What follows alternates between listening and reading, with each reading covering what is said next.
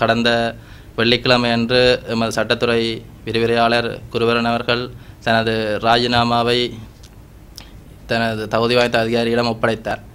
ஆனால் அவர் அதை விரும்பி ஆ, செய்தார் என்றால் அது அதற்கு அவர் ராஜினாமா செய்வதற்கு நிர்பந்திக்கப்பட்ட சூழ்நிலையில் தான் அவர் ராஜினாமா செய்தார். பல அரச அரசாங்கத்துக்கு எதிரான பல வழக்குகளில் வாதாடி கொண்டிருக்கும் நிலையில் அவருக்கு அழுத்தங்களை கொடுக்கும் முகமாக பல்கலைக்கழக மானியங்கள் ஆணைக்குழு கடந்த வருடம் எங்களுடைய பல்கலைக்கழகத்துக்கு அவர் அரச வழக்கு வழக்குகளிலோ அல்லது வழக்காடும் இதுகளிலேயோ அவர் செய்யக்கூடாது என்பதும் அல்லாட்டி அவர் ஒன்றில் அவர் பல்கலைக்கழகத்தில் படிப்பித்தல் செய்ய வேண்டும் அல்லது அவர் சட்ட தொழிலில் ஈடுபட வேண்டும் என்பதே பல்கலைக்கழக மானியங்கள் ஆணைக்குழுவின் ஒரு முடிவாக இருந்தது.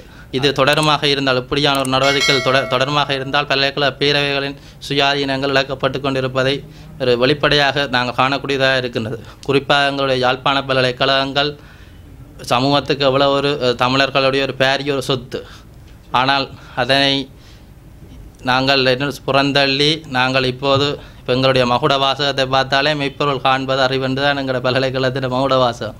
ஆனால் அதற்கு ஒரு கேள்விக்குறி போடக்கூடிய நிலைமையில் பல்கலைக்கழக பேரவையின் செயற்பாடு மிகவும் கவலை அளிக்கிறது.